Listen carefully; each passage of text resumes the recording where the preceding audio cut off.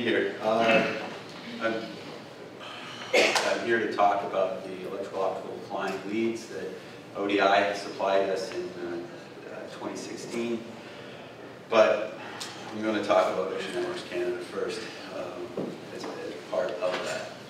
Um, this is a, a great uh, model that NOAA, or excuse me, NOAA, NASA put together, um, the ECCO2. It's showing the currents eddies around the Earth and microphone, sorry. Is that better? sorry. Anyway, it's a, it's a great model. Um, Oliver Steitz on, uh, on Monday talked about uh, we're all connected to the ocean. And uh, um, this is a, a, definite graphic showing that uh, the ocean is connected to us.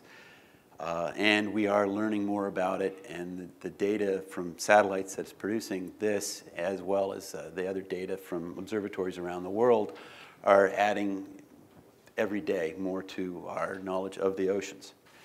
Um, this graphic as well uh, is a cartoon, basically, of the Earth and our oceans, and it's showing the global conveyor. So a little molecule of water in the conveyor floating in the ocean takes 1,600 years to do a full rotation back to where it started. Um, we don't really know that the uh, bathymetry of the oceans is what is shown here because we've mapped very little of it.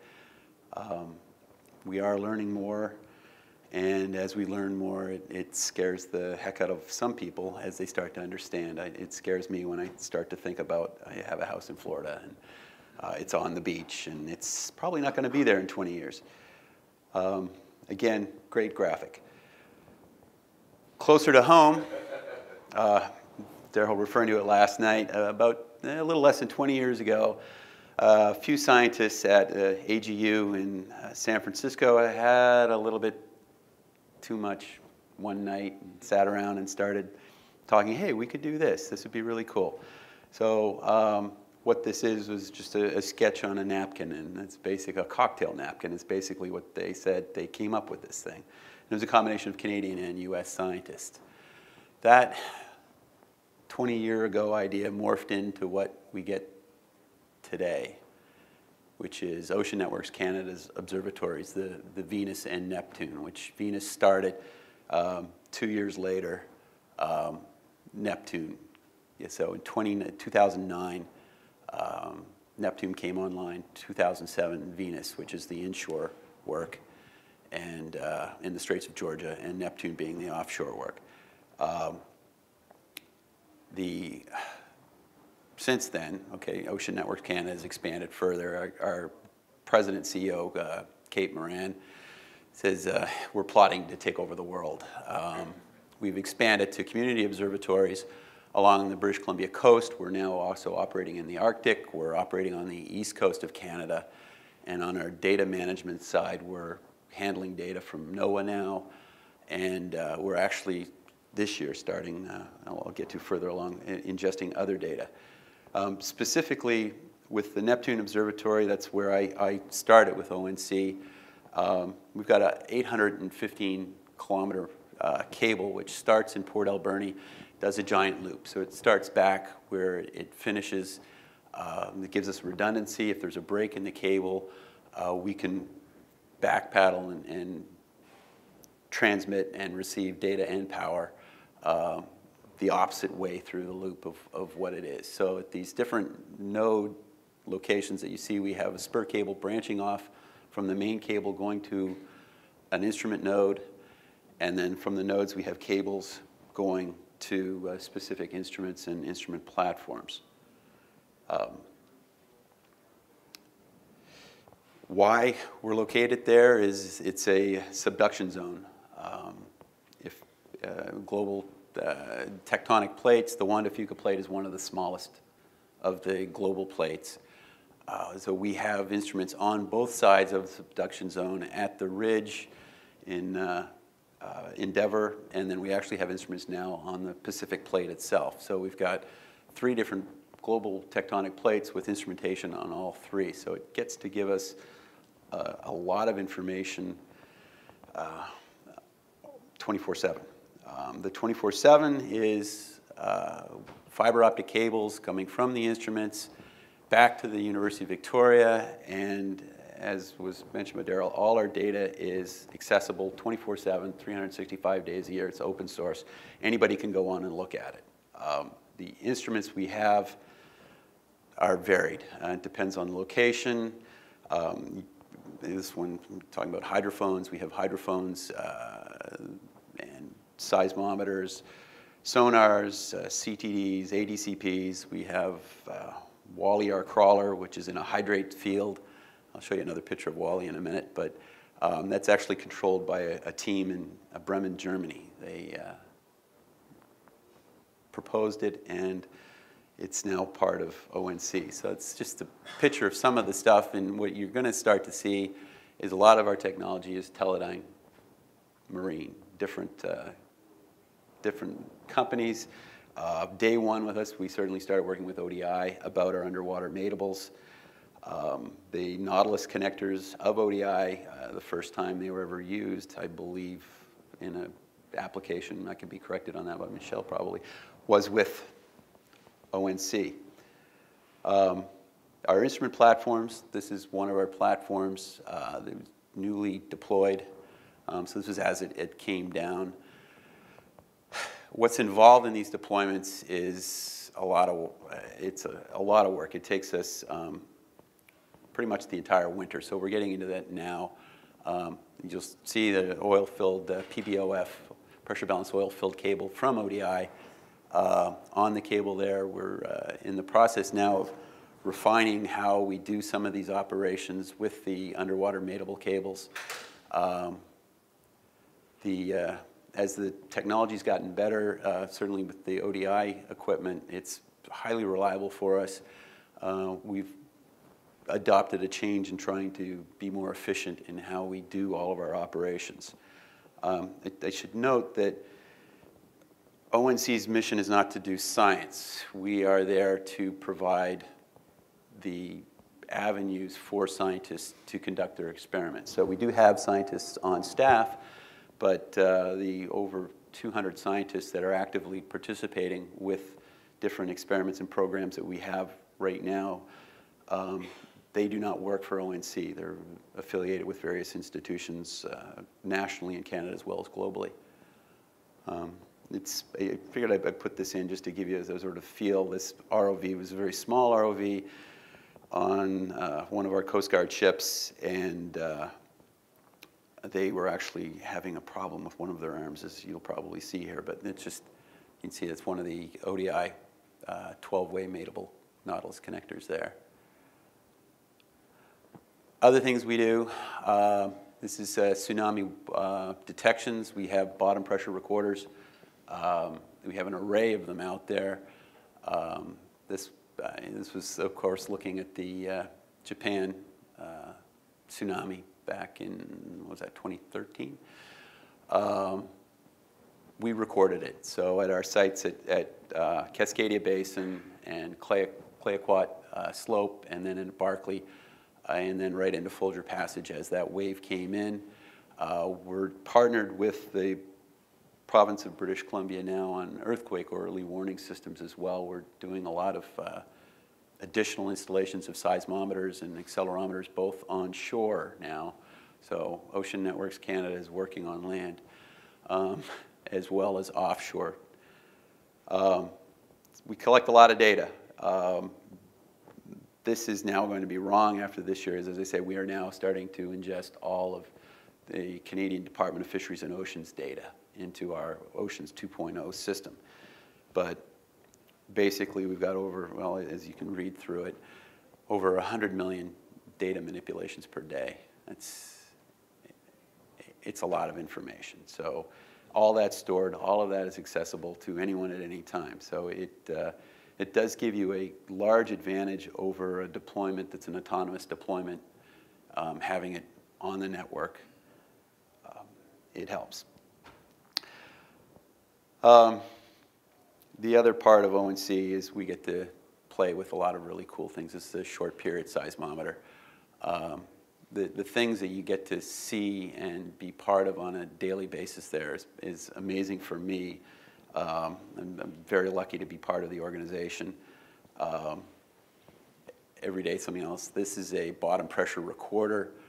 Um, as they indicated, uh, we have these as part of our tsunami warning system. We're also uh, um, deploying them now. There's a, a, a new uh, a newly developed system that we're also working with on the earthquake early warning uh, with bottom pressure recorders as well. Um,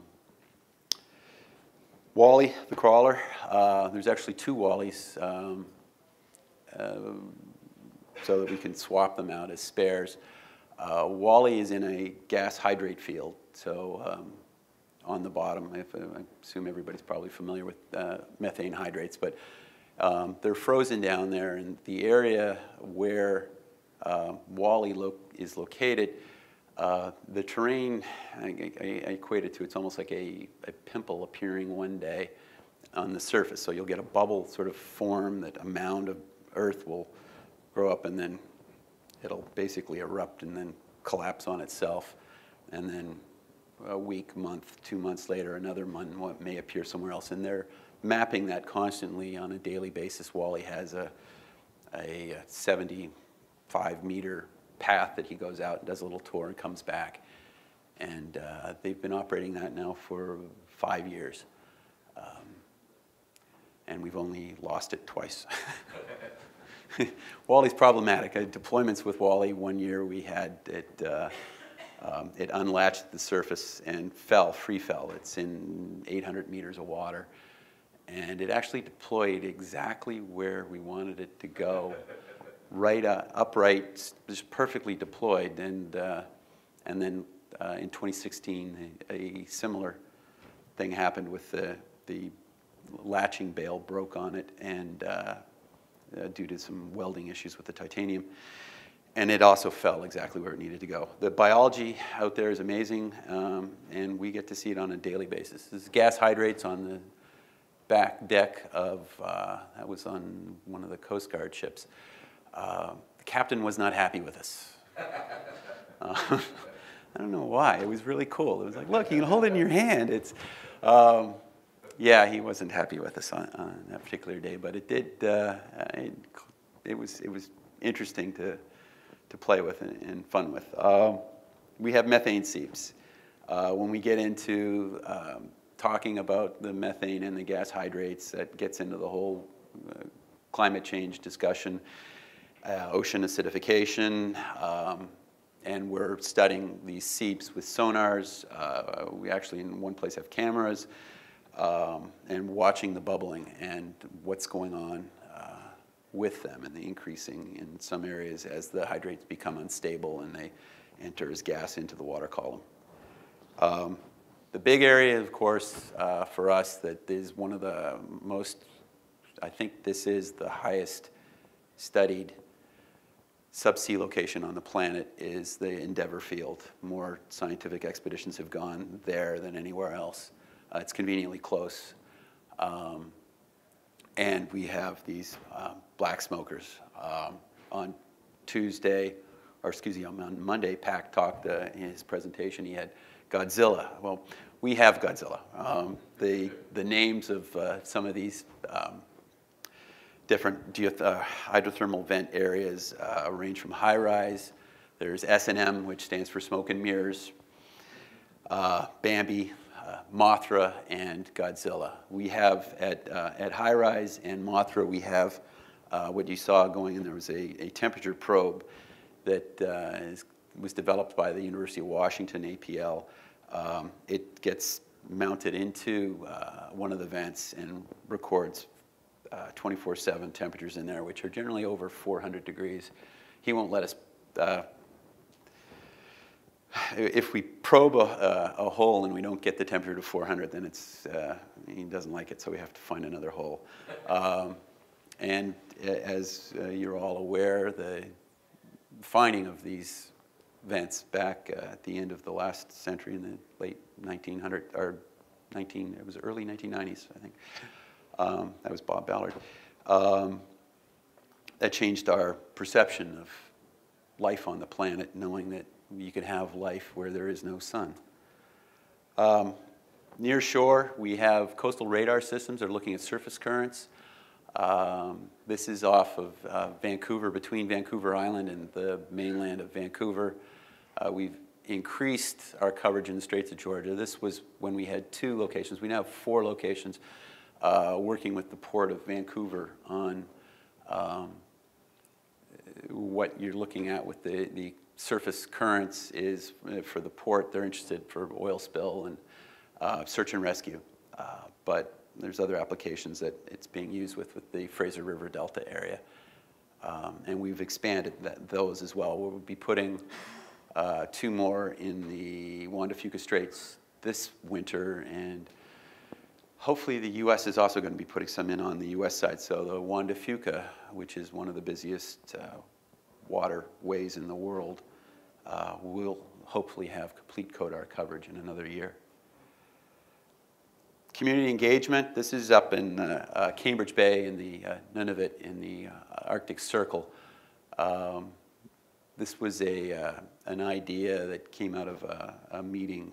Uh, it's called Arctic Net. Um, and ONC volunteered me and my team to install an observatory in Cambridge Bay.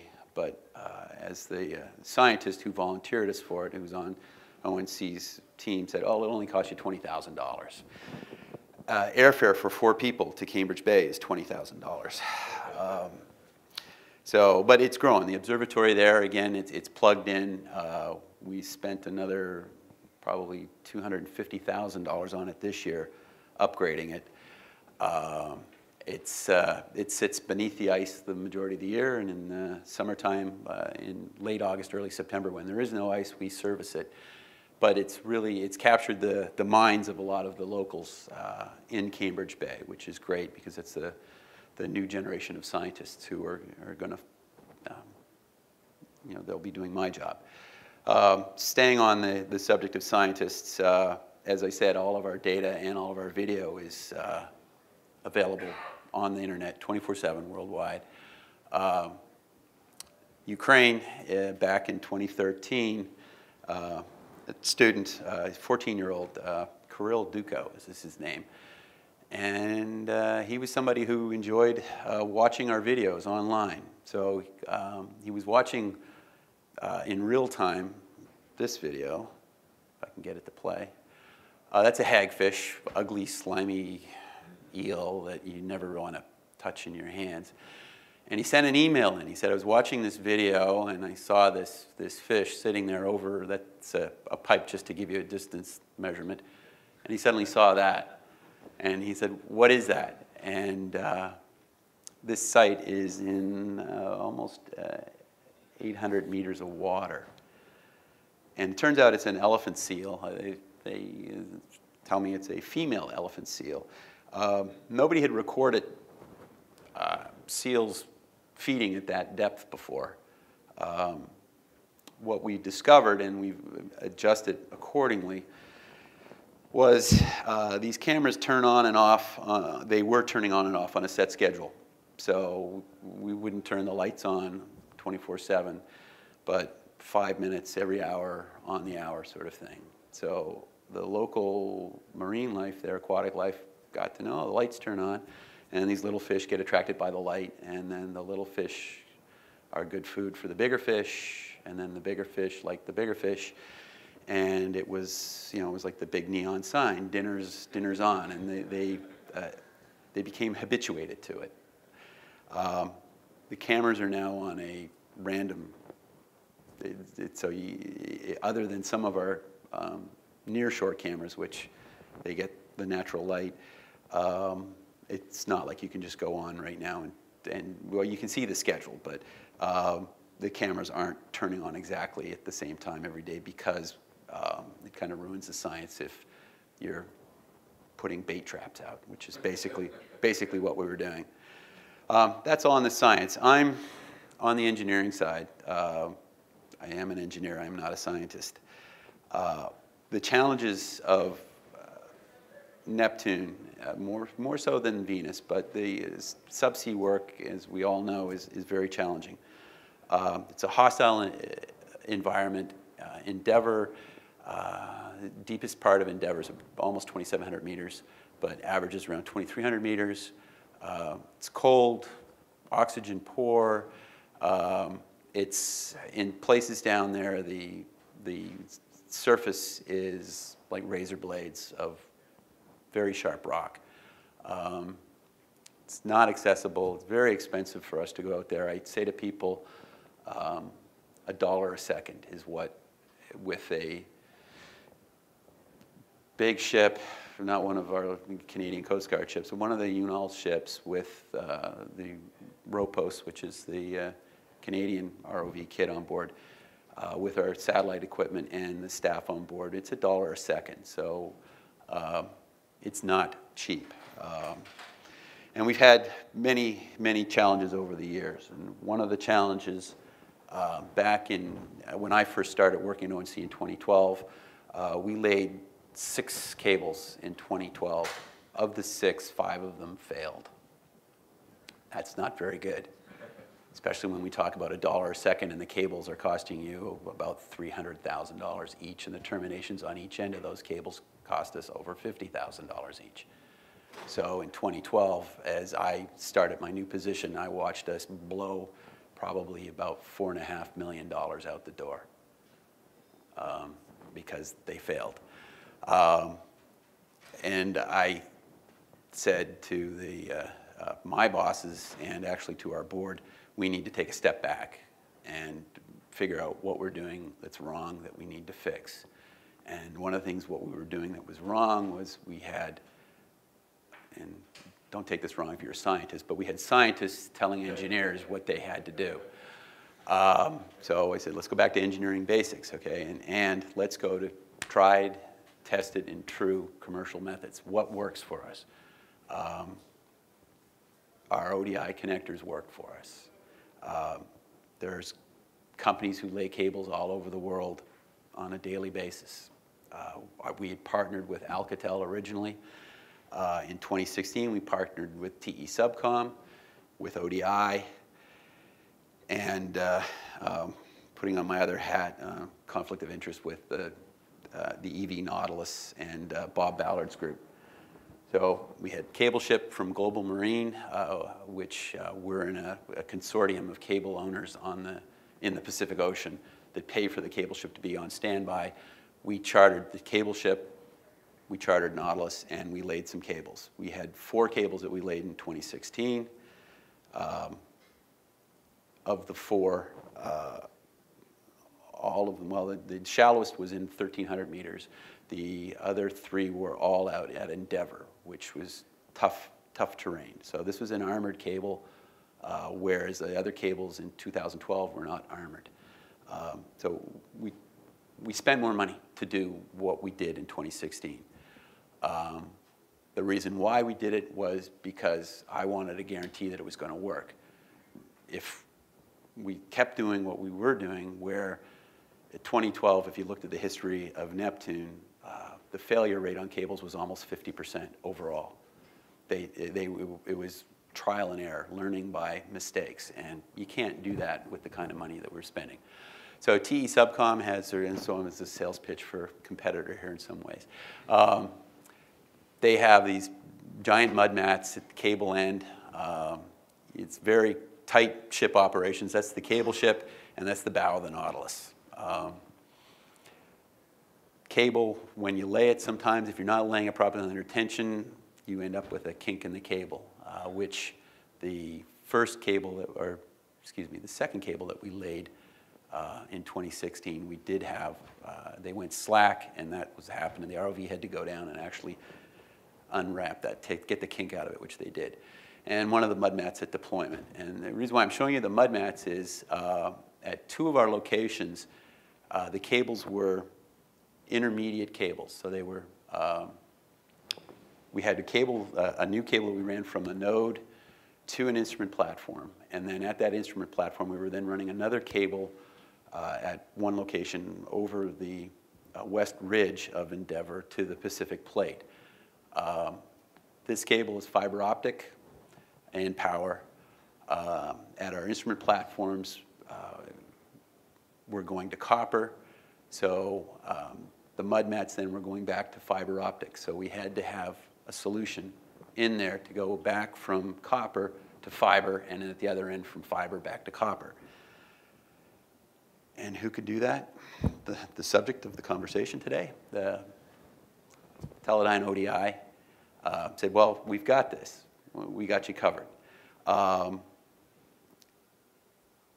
the advantage of this was, uh, oh, there was a lot of advantages to it. it. It gave us the ability to be able to plug in the mud mats with the fiber directly into our instrument platforms and flexibility between. At uh, the location I just spoke to you about on the Pacific um, plate, we weren't going to be putting an instrument platform there originally. Uh, next year, we will be putting an instrument platform there. So the interim at each end of that cable is one of these flying leads. So one end has so what we call a 12-way plug, so it's got 12 pins on it, and it's plugging into one of our instrument platforms. Um, the other end is fiber optics plugging into um, uh, plugging into the mud mat. This should actually play. Um, so this is the actual deployment. This is what's called a tool basket that we bring everything down in. Um, and that's one of the flying leads. So uh, we just mounted it on a, a little grating. Uh, we put a, a, on the end you can't really see is a small, um, sorry I've got volume on here I really don't want to hear. Um, I think that's, oh, there, perfect, thanks Darren. Um, to be, to be able to then plug it into the instrument platform on one end and at the other uh, end, the, uh, the mud mat that you saw has a ODI 50 meter hybrid connector, uh, PBOF with a hybrid connector on it. Um, and plug it in then the other end with, with that. Um, this particular location, because uh, the cable is typically 400 volts DC, uh, the other end, it, we stepped it down to 48 volts DC. Um, and that gives us, again, the flexibility in, in two of the locations to have these, but then in the future to be able to disconnect them and move them somewhere else if we decide to, uh, for instance, which we will now be doing next year, is putting in an instrument platform at the far end. Uh, we did have the Stormtrooper mounted on there. They guard our platforms. Um, my guys every year kind of put something out there to keep everybody uh, keep everybody on their toes, and just in case we do get rogue ROVs down there playing with our gear, um, which, believe it or not, somebody actually did say that once. They said, well, you know, you could have a, an ROV go down there and unplug your gear.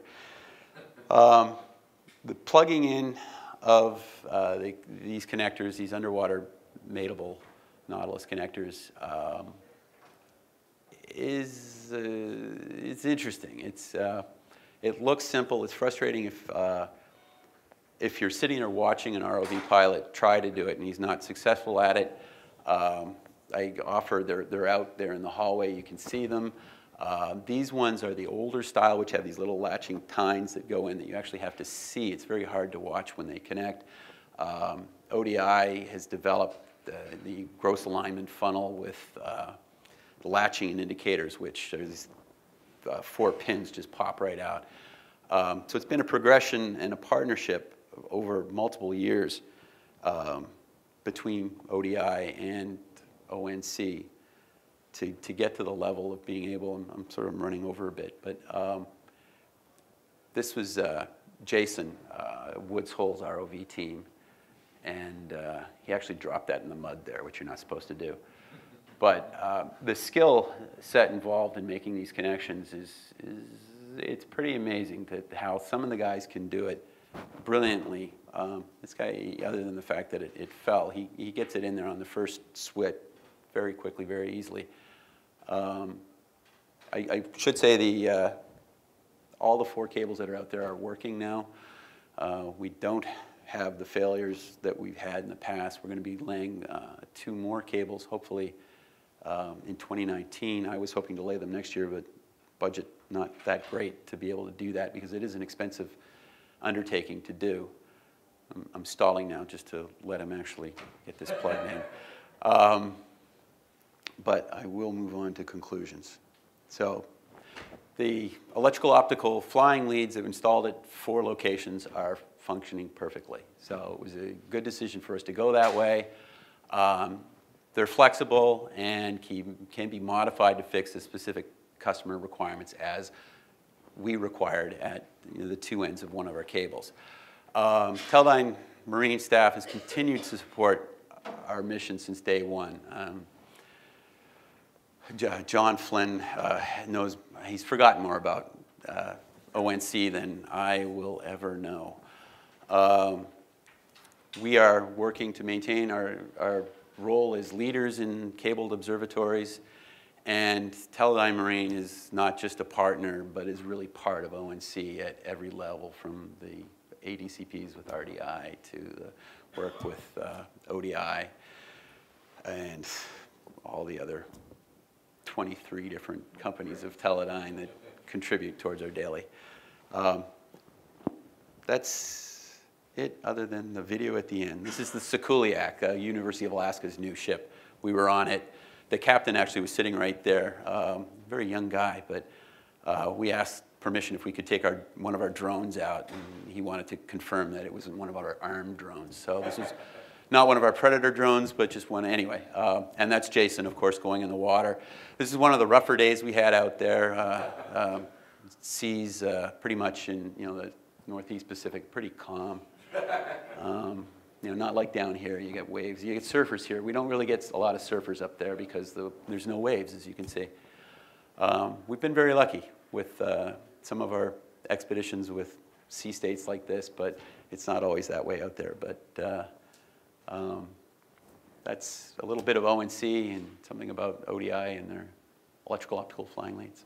Thank you. Teledyne Marine. Everywhere you look.